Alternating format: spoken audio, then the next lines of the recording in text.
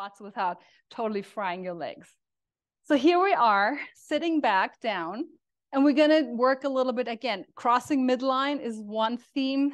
And of course, obliques always involve spine, right? That, what am I saying?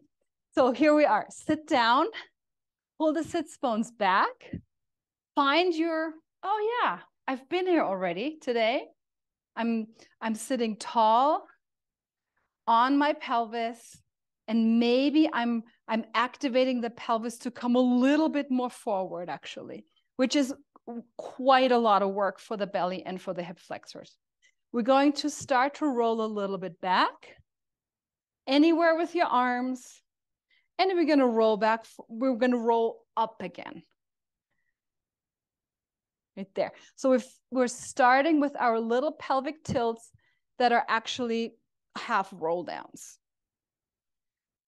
You've already been here before too, right? I mean, you can see that. You keep going what you're doing, but we've been already here, right? Same idea. It's always, there's only a couple of basic moves that we have, and we can make them a million different variations, but our basic moves always stay the same. So you do whatever feels good, right? You go as far, you can go all the way, right? Or you can do it as little as you want. Checking in, am I keeping my head neck and rib cage relationship? Or am I lifting my chin? That's one option, right? Or am I arching my back to come back up? Those are the two big we want to avoid. Two big things we want to avoid. Because if my chin lifts first, guess what's working? The back of my neck. And if my ribs lift first, what's working is the back, the lower back. And those are two things they already do all the work all day. We, we don't want that. So let's do one more time. Maybe you'll roll all the way. I'm going to go all the way. Just because it feels nice to lie on the back. And then we'll come one more time up. Or come from wherever you went to. We're adding our oblique turns. So here we are easy elbows, easy shoulders. We don't want to be, just become aware if you're holding a lot in your, and it's us, yeah, we all do hold more tension in our shoulders and necks than we should, probably. So we're rolling back and we're going to turn. Imagine you're holding a puppy and you're just turning easy. You're just turning easy, holding something very precious Maybe you're holding a pillow, like nothing too heavy, right? You're just moving and crossing midline with your arms, which means you're turning from your obliques, you're crossing midline with your ribs. Come back to center and then slowly come up. Very good. Nice. Let's do that again. So midline meaning nose, sternum, pubic bone, right? The moment we cross, we're right in our core here, in our oblique core. So we're slowly rolling back. And you can make this the littlest rollback, really. We're going to turn.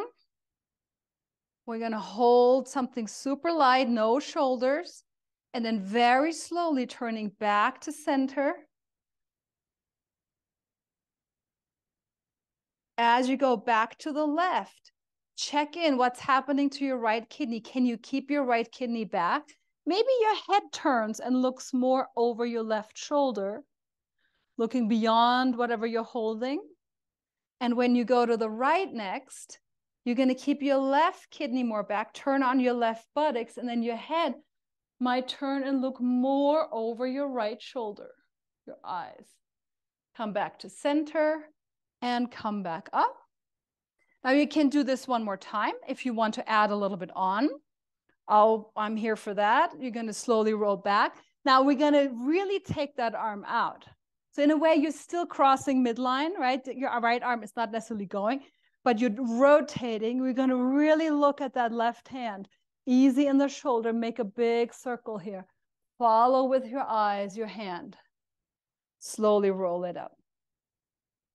The longer the lever, The longer the arm, the longer the leg, the harder the work. We're going to roll halfway back. Keep your left kidney back. You're going to turn to the right. Look at that right hand. Right elbow is bent. No work in that shoulder. Lifting the arm a little bit up. Follow with your eyes and come back up. Very nice. Let's do this one more time. Rolling back, turn it to the left. Maybe you you you you can play around a little bit with the height of that arm. Feel, can I keep my spine flexed as I lift that arm up? That's really, really hard. And then coming back up. Very good. Hip flexors should be talking to you for sure. Last one, rolling back. Keep your left kidney back as you rotate to the right. Shift the ribs maybe a tiny bit more to the right. And then maybe we're playing around a little bit with the height of the arm, right? That holding it there, breathing it a little more. And then last one, coming all the way back and release.